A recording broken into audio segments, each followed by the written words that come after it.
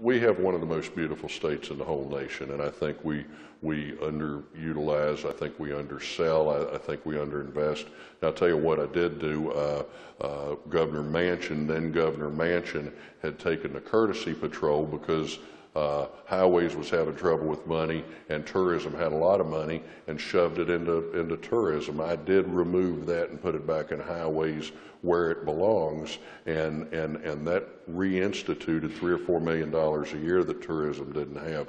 I do believe in, in advertising the, the, the quality and the, uh, of, of life in our, in our state, the, the, the beauty, the mountains, the rivers, the lakes. Uh, and, and it's an opportunity for us going forward. Uh, I, I, I hope we have a, a Hollywood, but I, I think I'd rather focus on the things that we already have going for us. We have ATV trails all over the place. We have, uh, you know, we have whitewater rafting, we have camping. We, we put the Boy Scout Reserve in, and we're using it for so many other things.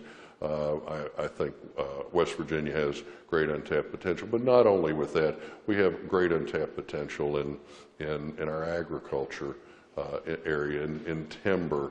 Uh, you know, if we get the right president, uh, we can reopen the opportunities that we have within our, our fossil fuels industries. But we, we have a lot going for us. We just have to get out of our way. We need, we need a leader that'll lead us down the right path, that'll do the tough things, the heavy lift, and, and, and uh, we'll make this state great.